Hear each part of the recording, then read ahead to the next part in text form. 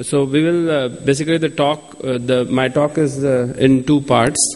The first is uh, to assess visual acuity in children, which itself is a is uh, quite a big talk. Uh, and the second part is to talk about comitant strabismus. I feel a lot would be overlap of what uh, Dr. Murli has already said. So I would uh, basically restrict my talk towards cover test and uh, ocular motility. So we'll start with uh, how to assess visual function in children.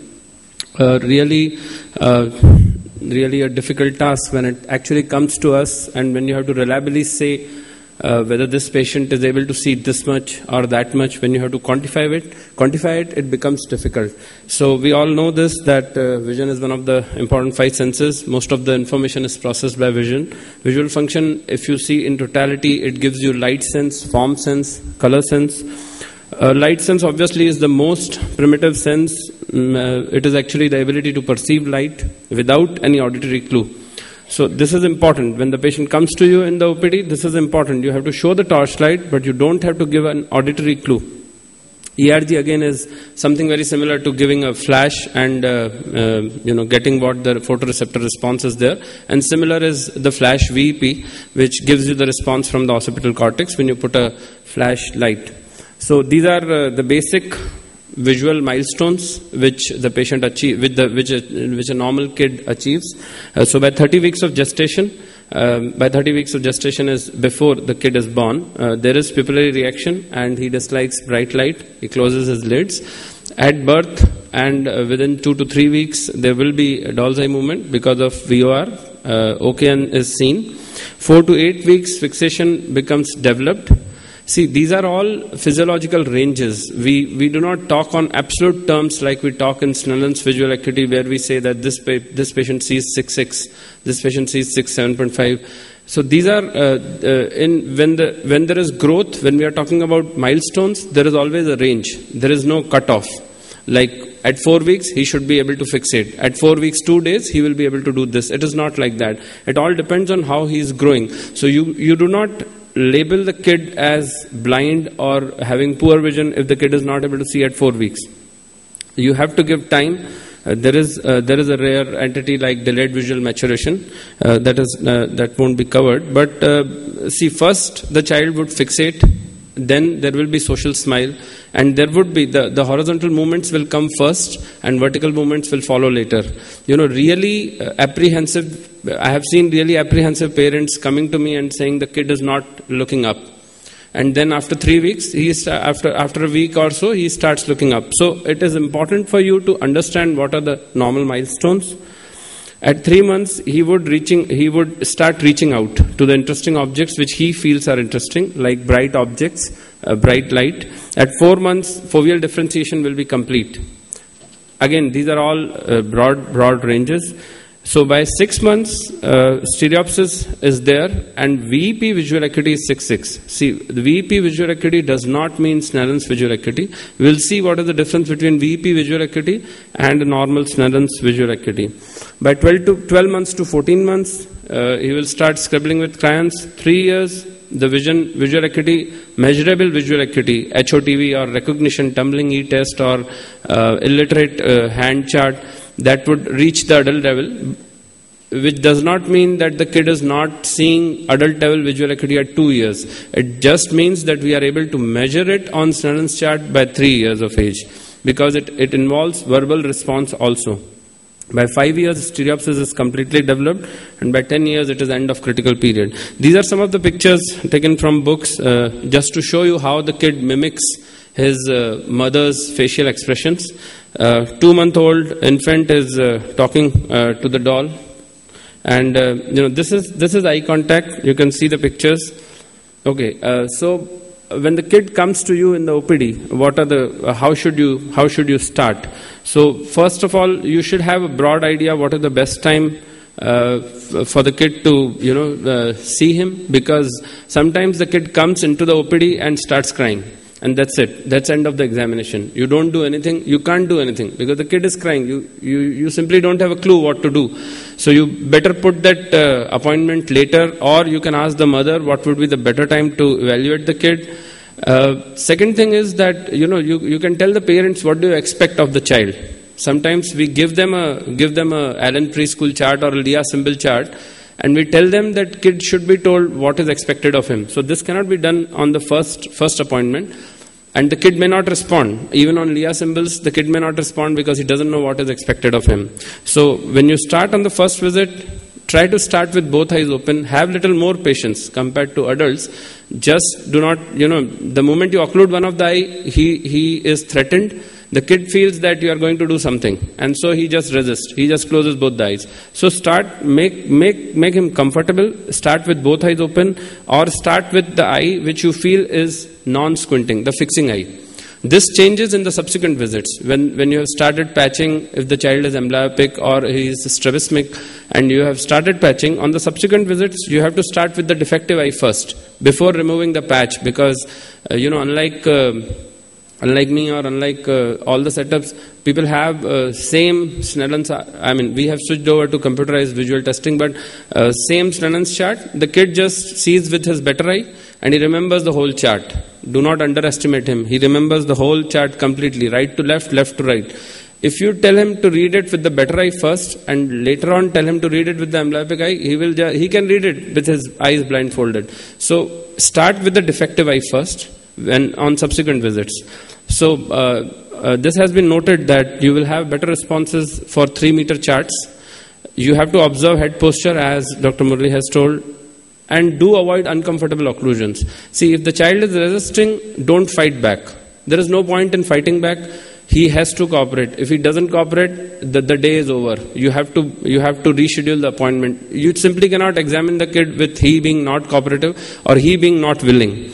So you carefully watch whether he is peeping above the glass from between the fingers. Use palm of hand. Try to test near vision. You know if you can. If you can, try to test near vision.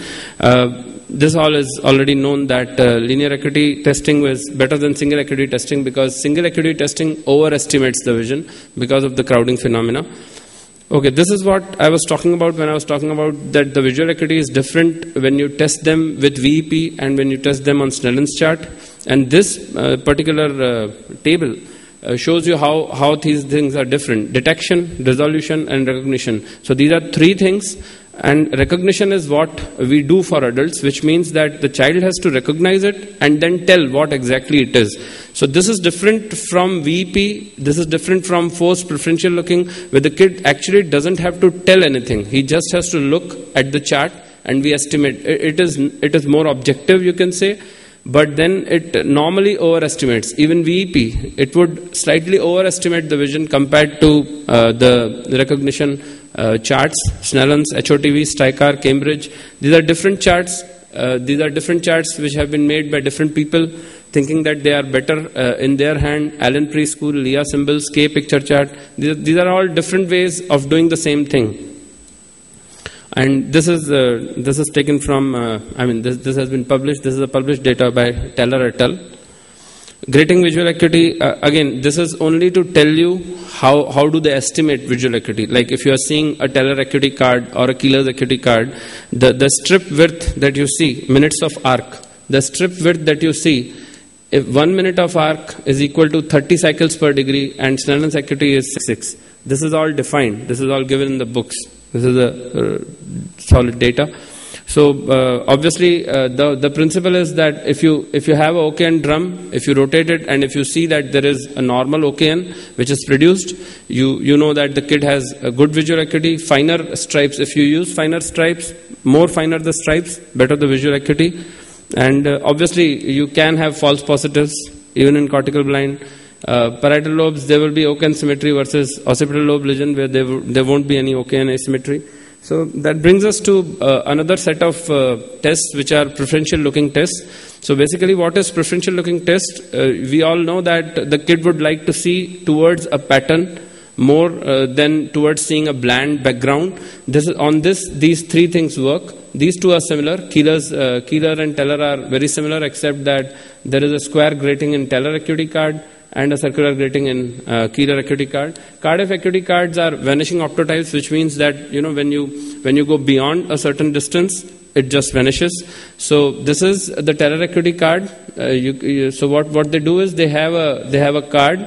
They have a card here. You can see it uh, monocularly or binocularly, and the examiner sits behind this particular uh, division, and he watches whether the kid looks at the uh, gratings or looks at the plain background. Okay, uh, this is uh, this is the round one. So this is the keeler. So examiner is hidden behind the screen. We all know uh, this is the theory that homogeneous surface on one side and black and white stripes on other side. The kid would like to see towards black and white stripes. And the chart which I showed you uh, defines the amount of vision the kid has uh, depending on the cycles per degree and the stripes per centimeter or per division. Finer the stripes, better the visual acuity, and uh, till there is no correlation with the direction of gaze, which means that sometimes it looks at the right, sometimes looks at the left. Uh, so this is uh, these are these are keeler keeler acuity cards. You can do it like this only. This also. Uh, this was from where I did my fellowship, Aravind Eye Hospital. Uh, this is an article published uh, in Archives of Ophthalmology, an old article 1995 by Kushner, uh, who said that uh, cards may underestimate the presence of amblyopia, which basically means that it overestimates the visual acuity. Uh, in terms, you know, when you compare tellers with uh, Snellens, so teller cards may underestimate. See, it is like you know these all visual acuity charts and all things are like softwares. There are few limitations and there are few. So normatives are different for different uh, test patterns. So teller acuity cards obviously would overestimate the amount of visual acuity. And then there is uh, okay, we'll come there, to that later. There is an article by Dr. Sharma also in IGO where he has compared teller acuity cards with Cardiff acuity testing. Anyway, we will first see this. Uh, Cardiff acuity testing. Uh, the principle is that the optotype or the the figure, the diagram will completely fade into the background when the retinal image is not resolved, which means that at a certain distance it would be clear. The moment you go beyond that, it would it would make it invisible rather than blurred. So you can see that there is a there's a small uh, engine made, and then there are different shapes. So one card will have uh, on the up and down. There would be image either on the upper part or on the lower part, and we just have to see uh, whether the kid is looking at the image or looking at the, or he is indistinct. He is not looking at any uh, particular thing. The difference is that here you have pictures instead of gratings, so you feel that the kid would be more attracted towards the pictures, and um, so these are the two. This chart shows you the differences between the grating, uh, I mean, between the teller acuity card keelers and the Cardiff. So here the, the whereas TAC or the teller's acuity card has grating resolution and this has pic pictorial resolution. So crowding is there. There is no crowding. So if there is no crowding, it means that this would again overestimate the vision more than even tellers. So this is less interesting for the kid. This is more interesting. This is more time consuming. This is quick. This is more precise, obviously, because it has grating and it has crowding. So it is more precise compared to uh, Cardiff acuity card. So this is uh, by Dr. Sharma, uh, mm, which was published in 2003. I was talking about this. Uh, so he he uh, did uh, did a study on both Cardiff acuity tests and Teller. Uh, under two years of kids, and he felt that uh, Cardiff acuity card is a useful and child-friendly test. But again, what is, what is already known is that uh, it may miss some cases of visually significant refractive errors compared to teller cards. So teller cards, he said, was more precise, but Cardiff acuity card has its own importance and it is more user-friendly and uh, child-friendly. So uh, that brings us back to the original classification of preferential looking, preferential, forced preferential looking. Uh, the advantages are that it is relatively inex- inexpensive. Uh, it is reproducible, yes. Uh, it can be done even for uncooperative kids like uh, mentally, uh, mentally slow or challenged kids. Uh, the problems are that it overestimates the vision. So low myopia may be missed because uh, you are seeing it for the near. So low myopia may be missed. Nystagmus is a problem. Large field effects. So if they have large field effect, there will be a problem. Cross fixations it is difficult. You know, it is really difficult. So you have to cl- close one of the eyes and then try. And fatigue of patient is another thing because you have to use a lot of cards. The child may get fatigue at the end of the test, and you may feel that you know he's not uh, he's not actually looking at it, whereas his visual acuity may be good. Now, that brings us to one of the most objective tests, which is visual evoked responses. Uh, this is basically a EEG recording from the occipital lobe in response to the visual stimulus that is presented to the kid. Now, compared to EEG, the, the difference between EEG and VEP is that VEP is specific to occipital lobe, and there are only three uh, three electrodes in a single channel setup or five electrodes in a two in a four channel setup. So uh, it is very specific only to the occipital cord uh, occipital cortex. The amplitude amplitude will tell you about the visual acuity and latency will tell you about the visual function pathway. Flash visual evoked response can only grossly tell you about the macula and the visual pathway whether it is normal or not Flash VER does not tell you anything about the visual acuity. Recently, I saw a kid, he was five years old. The kid had undergone Flash VEP at one and a half years of age and was told that his visual acuity is absolutely normal and there is nothing to be done.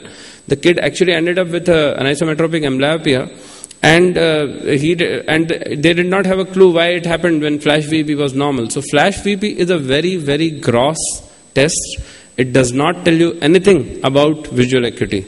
So even if the kid is uh, having a poor visual acuity of around 660, flash vp may be normal. I said maybe, it may be normal. Even if he is a myope, it may be normal. So pattern reversal VEP or checkerboard uh, or stripes pattern, whichever pattern, but that can tell you something about the visual acuity. So pattern VEP tells you about visual acuity and Flash VP has absolute no role in uh, telling you or estimating visual acuity in the kids. Under 8 weeks, Flash VP is of absolutely not much, uh, not much uh, role because it may be normal even in cortically blind children, which means that the normative VEP which you see in a kid under 8 weeks is similar to a kid who is cortically blind which does not mean that it is normal. VEP is normal in under 8 weeks, which only means that under 8 weeks, you can't do VEP to say what whether the kid is able to see or not. And after eight weeks, latency delay may correlate with brain damage and rise in intracranial pressure, but it does not give any clue about the ventricular size. So we are basically looking at uh, children with periventricular leukomalacia, which is out of uh, course uh, for this particular lecture. So this is a handheld, uh, you know, handheld dome as you as you have a large dome for uh, for adults there is something which is known as a, the Curvus field which is a small handheld dome for pediatric kids for children. Uh, so you sedate them and you can use this dome to do flash VEP or flash ERG Okay, the advantages are that it doesn't require any subjective response and it is reproducible, but the disadvantage is that, okay, uh, one thing is that it is uh, expensive.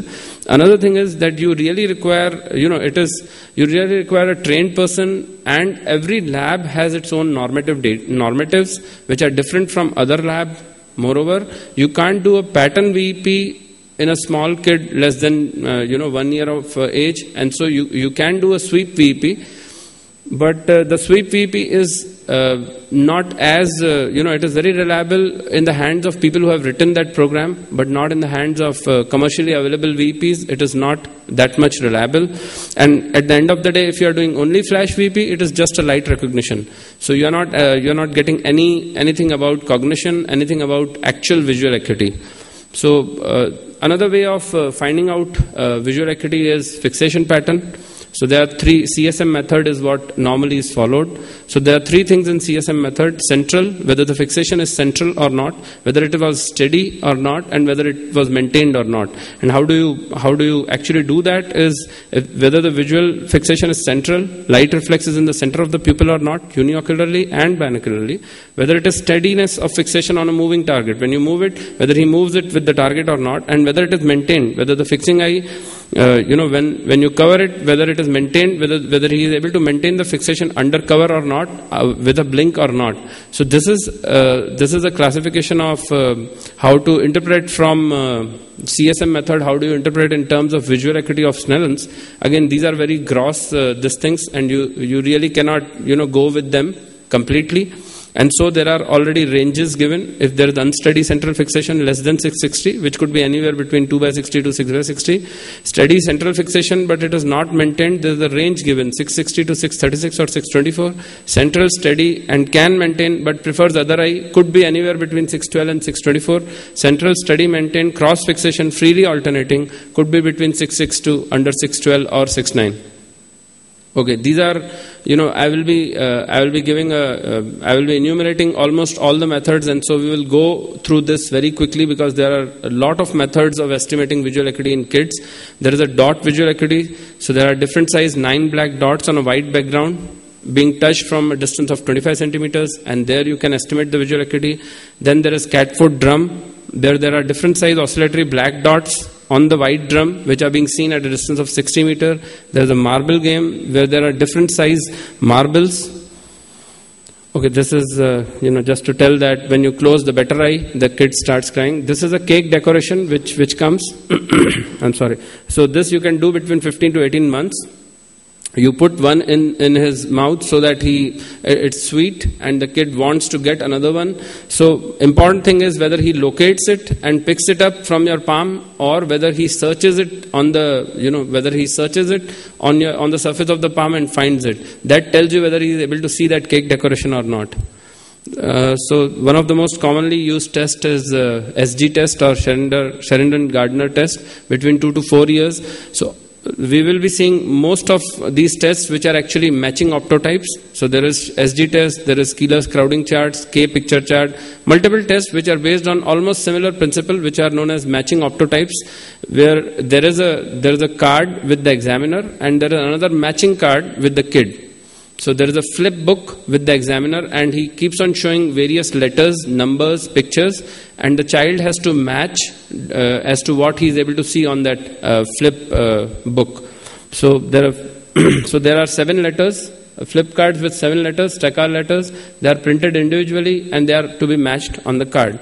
Then there, there are Cambridge cards. Uh, so there is there are single. The, the distance is three meters.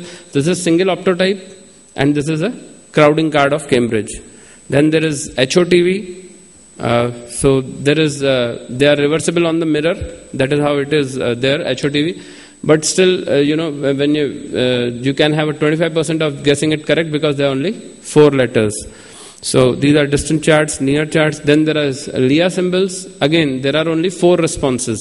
So 25% chance of guessing it correct is there because there are only four responses: heart, house, circle, and um, square.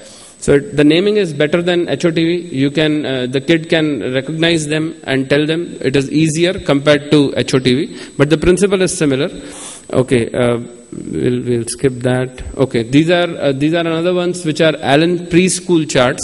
So these are another interesting pictures on there. Nowadays they have they have got matching cards with this also, so the kid can tell whether he is able to see the car, engine, house, horse so these are Kay picture charts, another way of doing the same thing. And then there are uh, the Stycar system is basically screening test for young children and uh, retards.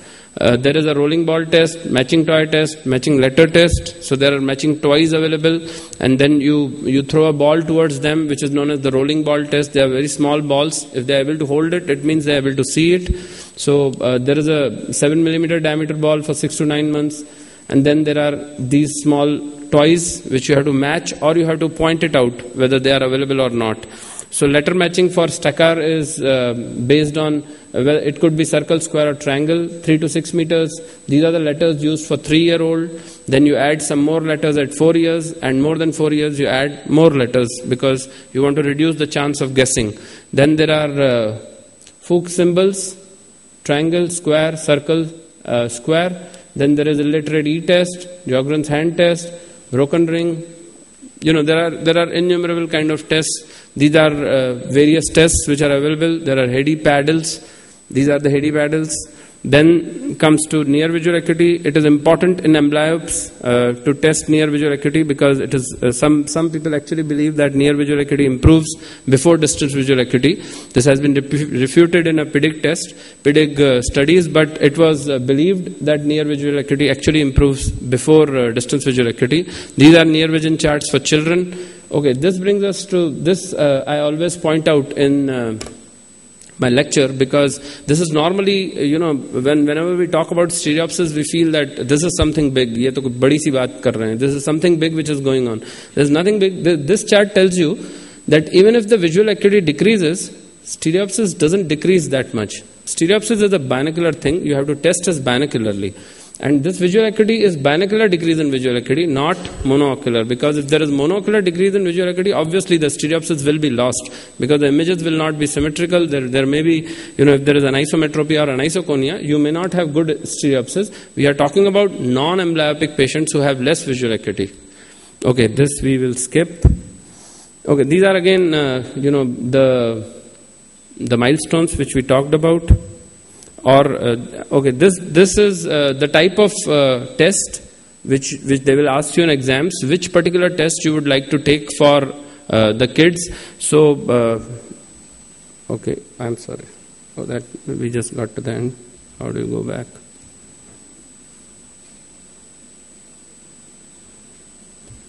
That was a little too quick.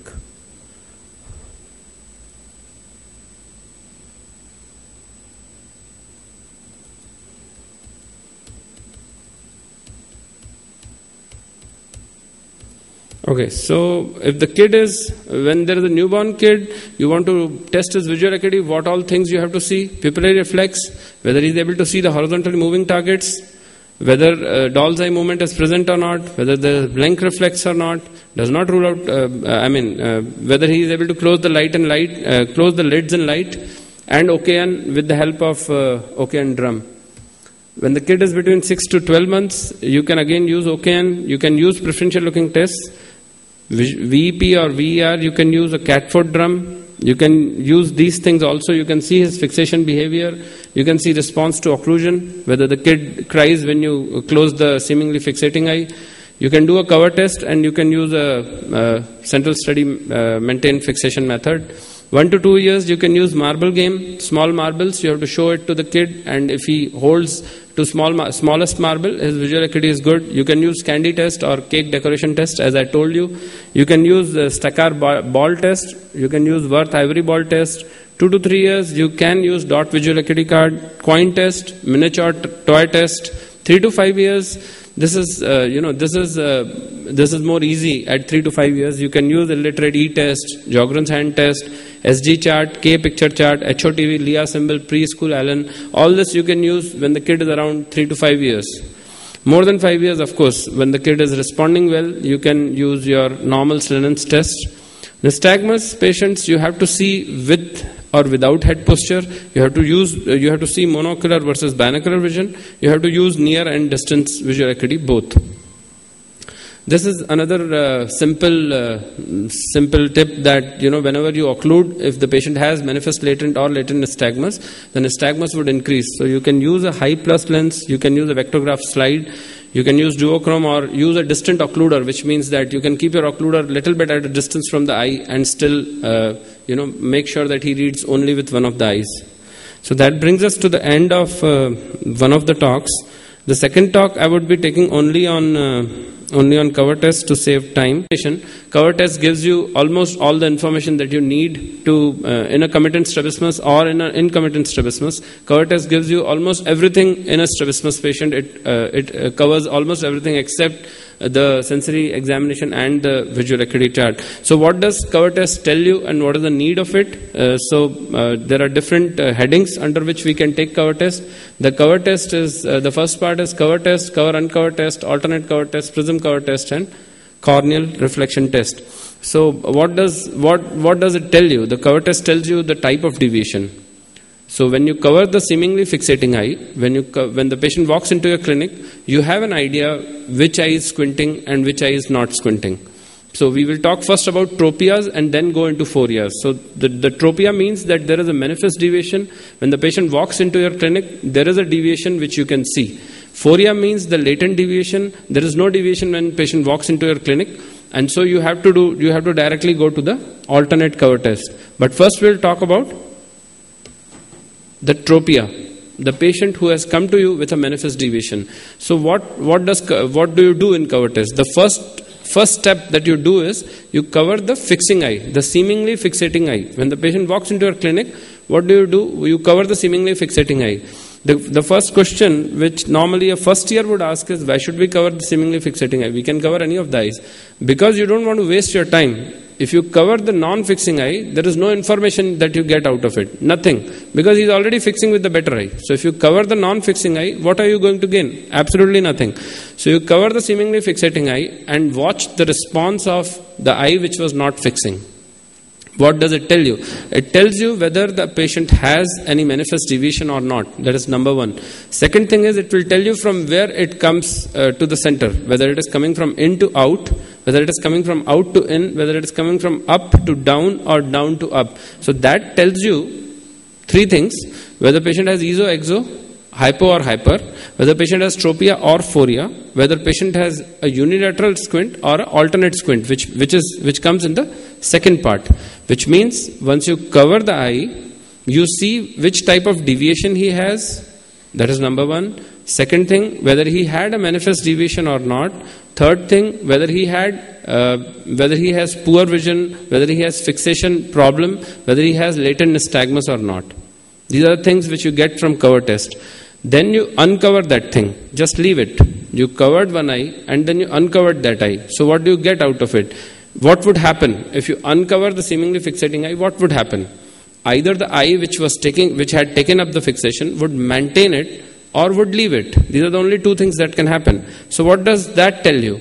That tells you whether it is a unilateral deviation or an alternate deviation. So if that eye which took up the fixation maintains the fixation, then it is an alternate deviation. And if it leaves fixation, then it is a unilateral deviation. See, never never confuse alternate cover test with alternate tropia. This is very common. This is not restricted to postgraduates. I, I, I would, you would be surprised when you would start your practice. You would see that, uh, you know, even uh, ophthalmologists would write alternate exophoria. Phoria is bound to be alternate. Alternate exotropia. When the patient has just one eye unilateral squint, why it is important? It is important because if patient has alternate tropia, that patient can be operated because the visual acuity must be good or almost equal in both the eyes.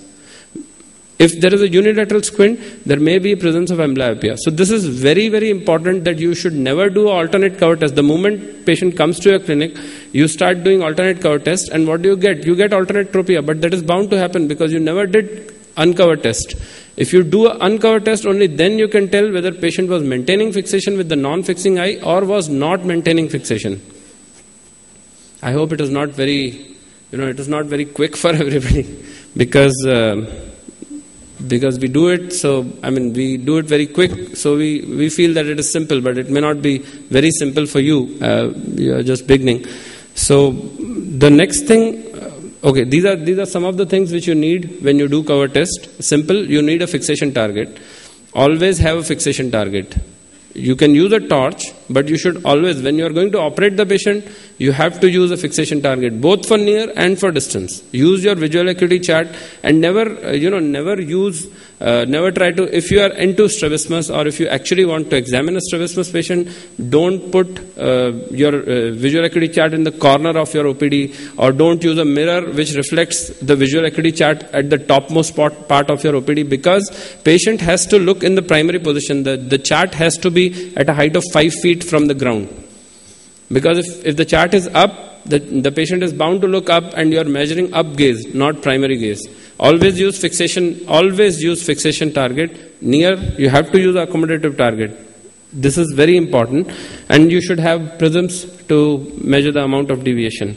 Okay, uh, that uh, the first the first thing which normally is taught or is talked about is corneal reflection test. So how do you do corneal reflection test? So what you basically do in corneal reflection test is you put a torch, you stand in front of the patient and you see where is the the light uh, the the light uh, the light reflects in terms of the center of the eye or in terms of center of the pupil. So if the light is nasal to the center of the eye, it is exotropia, and if it is temporal, the deviation would be esotropia. Now, how do you, how have they calculated this, uh, this uh, theory of uh, one, you know, one millimeter is equal to 7.5 degrees. So, corneal diameter is 12 millimeters and the half would be 6 millimeters. The light reflects at the limbus would be around 45 degrees and therefore the each millimeter of eccentricity amounts to around 7 degrees. This is the theory. So Hirschberg published this way back in 1885. So how has uh, how did he find out that it was 45 degrees? He measured it. He measured that when it is at the limbus, it is 45 degrees. Well, these these things have been refuted, but we will not talk about that. This is what is given in the books. We will restrict to that. If the reflex is at the pupil, it is approximately equal to this much. This is just to give you a gross idea. This never, as Dr. Murli said, never believe in corneal reflection test and operate on corneal reflection test. You have to go ahead and do a cover test. So what, what are the steps of cover test? You first cover the seemingly fixating eye. The response of the non-fixating eye is observed. If the eye moves from out to in, we already discussed that what happens. So this is uh, okay. This is uh, one of the patients. I have deliberately slowed down the video four times. So what you do is, on covering the left eye, right eye moves from out to in. So what it is? Simple. You just have to talk, talk about cover test. Don't talk about cover uncover test. What happens? The right eye was out. You covered the left eye. Right eye came in. So right eye was exotropic.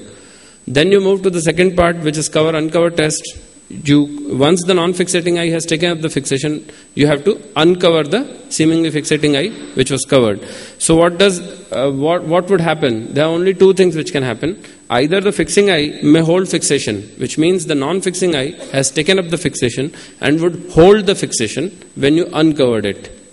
This is alternate tropia. And the fixing eye may lose fixation and that is unilateral tropia.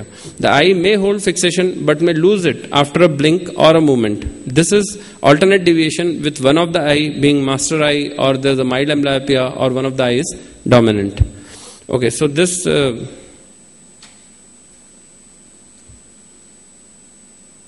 okay so this uh, this video will show us the, the same kid right eye exotropia on corneal reflection test so what we have done is we have covered the left eye. The Spielmann occluder is being used to show you that uh, you can see the eye under cover also. Uh, so that's the reason why Spielmann occluder has been used in this particular patient.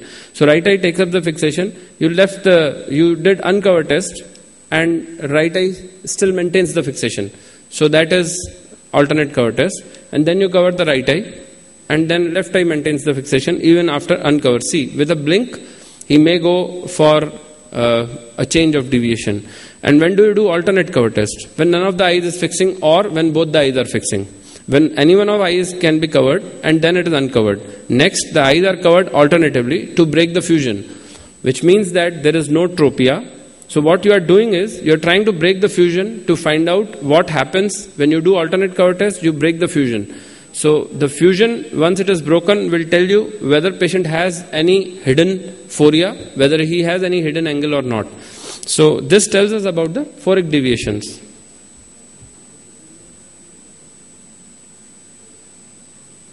So we cover the right eye and then we do alternate cover test. There's a small exophoria. Then we come to prism cover test. What does prism cover test tell you? It tells you the amount of deviation. So how do you measure the amount of deviation. You use prism apex towards the deviation. Alternate cover test is done by putting prisms of higher power to get the maximum deviation. So it is recorded in prism diopters for ESO, base out, exo, base in, hyper base down, hypo base up. And the variants are uh, Krimsky's test and Scobie's occlusion test. We will talk about it later. Okay, this is a this is just to show you a prism bar cover test. So what you basically do is you keep prisms of higher power till the deviation is neutralized. So, till the point where there is no deviation, that is known as the point of neutralization. And then you move one prism higher, one prism higher to find out the point of reversal. Whether there is a point of reversal at one prism higher, or you have to go more compared to, uh, you know, compared to the point of neutralization. The difference between point of neutralization and point of reversal would be the fusional amplitude of that patient. So what you are doing is you are doing alternate cover test. Why? Because you want to find out the maximum amount of deviation. So what does prism cover test tell you? Prism cover test tells you the total deviation, phoric as well as tropic. If you want to find out only tropic deviation, you have to use simultaneous prism cover test. Here you want to you want to find out the total amount of deviation which includes both the tropic deviation and the phoric, the hidden deviation. So you are doing alternate cover test. If you feel that the deviation is less than what you I mean if you feel that near deviation is less compared to distant deviation, you can occlude one of the eye and call the patient again after 45 minutes and then measure the deviation again.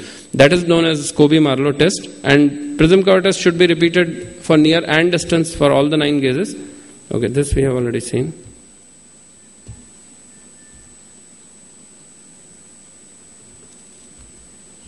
Okay. There is another test which you do uh, in kids or in adult patients where visual acuity is not good. So you can't do alternate cover test when the patient is not able to fix on the target.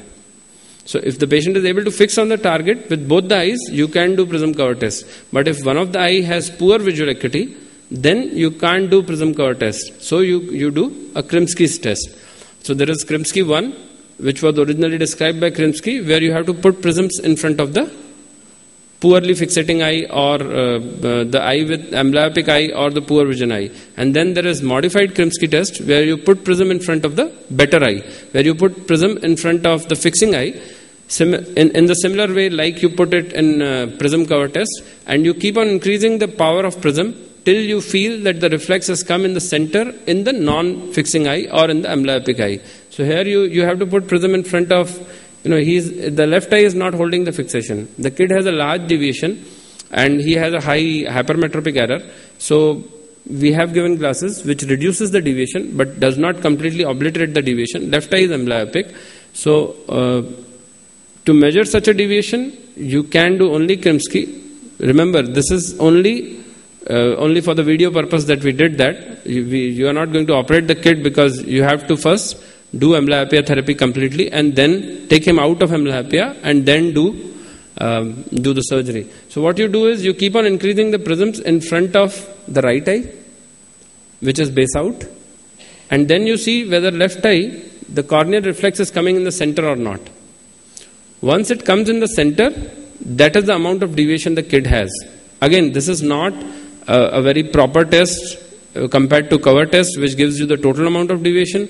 Nevertheless this is a useful handy test when when you want to operate uh, an adult patient with poor fixation in one of the eyes you can't do alternate cover test and so you have to rely on Krimsky's test. Okay that brings us to uh, another aspect of uh, mm, you know another uh, part of uh, squint examination ocular movements ductions vergence vergences you have to find out what are the normal excursions, oblique, oblique dysfunction, and comitant and incomitant deviations. So, this is something uh, which we uh, started doing three, four years back. So, for ocular movements and excursions, we record them in millimeters. So, there is a small, simple device. So, what you have to do is you have to measure the amount of amount of excursion that is made so you put it on the limbus and then tell the patient to look on the right, again put it on the nasal limbus to measure abduction, and similarly you can do it for adduction. The, the advantage of this particular way of doing it is that you know it is more objective and not uh, like minus one, minus two, minus three, minus four for uh, for paralyzed eye or for uh, so you can uh, this is this was one study which we did and these are the normative data uh, compared to what has been published by Kestenbaum in 55 uh, so, the, okay, this is, I think, little too. Uh, this this is what was already published by Kestenbaum, and uh, uh, we can just just couple of videos uh, I would like to show.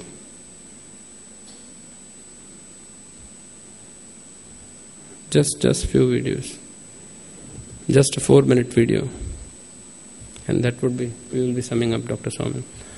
So these are uh, something which we these are something.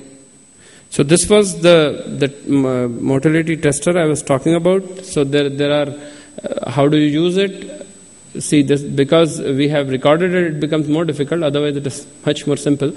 But it is uh, like you you use that scale to measure the amount of adduction abduction. So a marker is placed on one of the limbus and then you tell the patient to abduct the eye and then move the marker. And then from the scale you can find out the amount of uh, movement that the patient made and record it. This is especially helpful in paralytic cases when you when you feel that abduction is restricted or adduction in other cases like adduction or elevation is restricted. You can do a follow up examination and find out uh, whether uh, patient has actually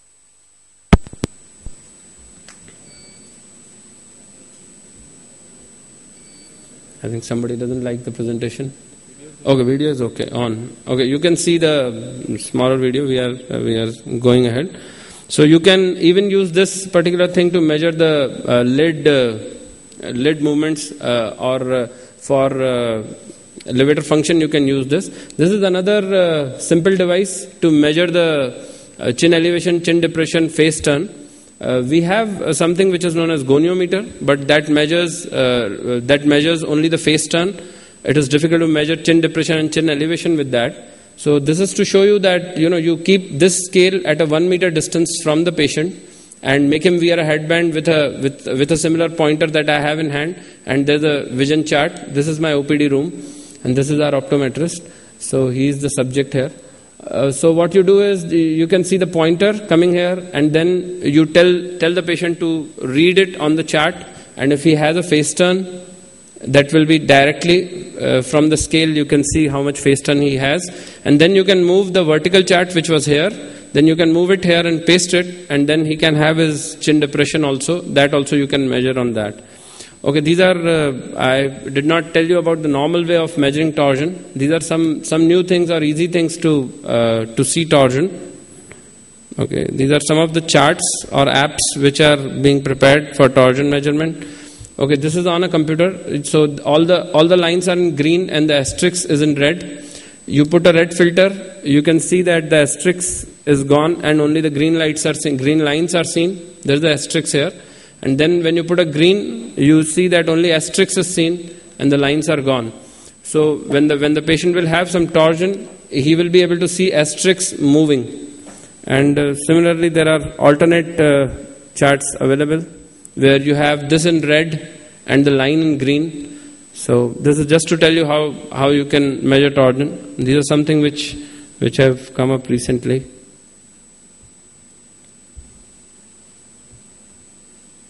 See, you can see only the only the black line. And you, uh, the important thing to understand here is that you have to neutralize the deviation, vertical and horizontal deviation first, before going on uh, and using this. This is uh, this is another uh, stereo acuity app which we have developed, which would be available in smartphone. You can use this to measure near visual acuity and distance visual acuity.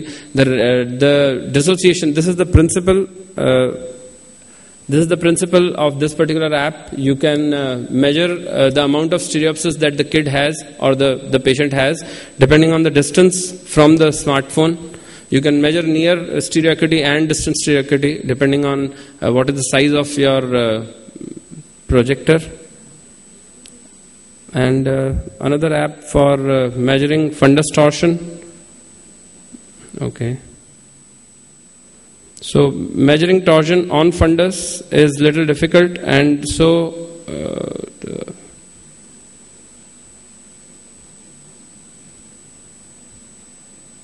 okay. So once you take a fundus picture, normally you have a question: How do you measure the disc foveal angle? So this is uh, this is something which which is in process. We are uh, doing it with. Uh, so this is a normal fundus picture and here you what you want to measure is you want to measure the disc foveal angle. So for that you have to define the disc first. And then you have to find out the center of the disc. Then you have to draw a line from center of the disc which is straight. And another line which comes from center of the fovea to the center of the disc. And that tells you what is the disc foveal angle. This is important when you are measuring patients with torsion Okay, so the if you draw a line from center of the fovea, it is a straight line. Here we are drawing a parallel line which is crossing these two things. The angle would remain the same. Yeah. I think that sums up everything. If there are any questions, please tell me.